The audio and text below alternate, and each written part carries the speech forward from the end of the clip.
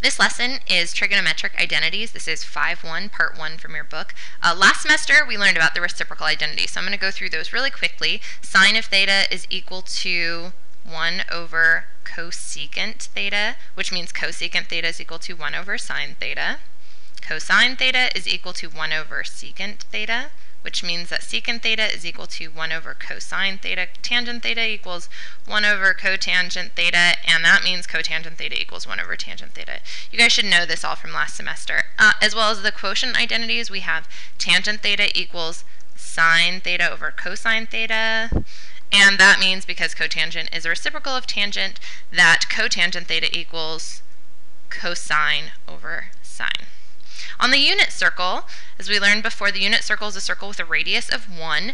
We have cosine of theta equal to our x. So if we had a theta here, drops down, we get this value x if we took cosine of that theta. And sine of theta, if we took sine of this theta, we would get this value, which is our y. So let's think about Pythagorean theorem for a second. If we have a triangle, it is a right triangle, and we have a side A, a side B, and a side C, we know that a squared plus b squared equals c squared.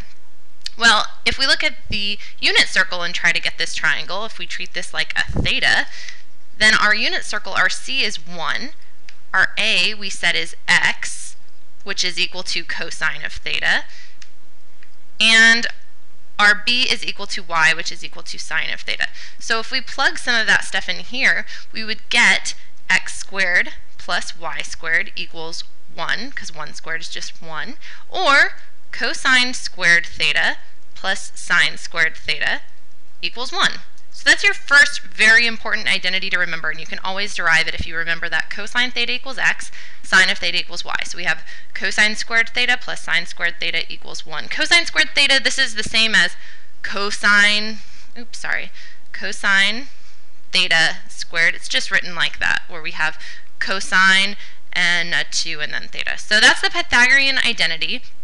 And that's one of the three Pythagorean identities that we can derive. So we really only need to know this one, cosine squared theta plus sine squared theta equals 1, and we can derive the other two if we divide by cosine squared theta, or this should say sine squared theta.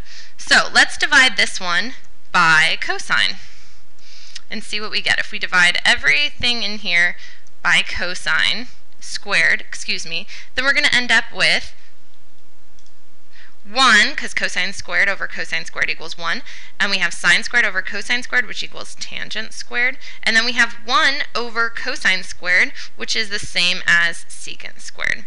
So that's our first, or that's our second identity. Now we divided that one by cosine. Let's divide this one by sine everywhere and see what we get. So cosine over sine, if we look back up here, we remember cosine over sine is cotangent. So we have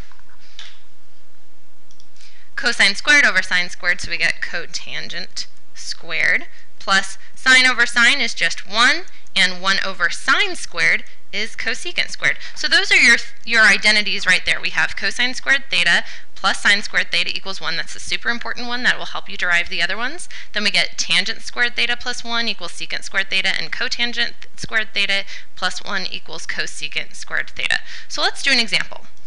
We're asked to simplify this expression. We have cosecant x times cotangent squared x plus 1 over sine x. So first what we can do is we can implement the reciprocal identity that we learned.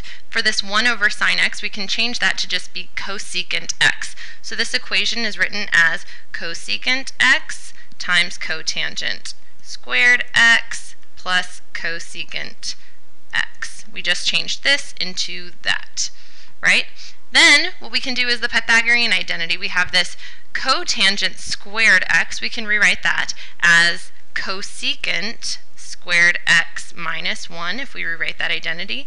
And then let's bring down everything else we had, cosecant x. So now we had, instead of cotangent squared x, we have cosecant squared x minus 1 and plus cosecant x. Now, if we multiply that out, we get cosecant cubed x minus cosecant x plus cosecant x. This and this will cancel out, so you have your answer as cosecant cubed x.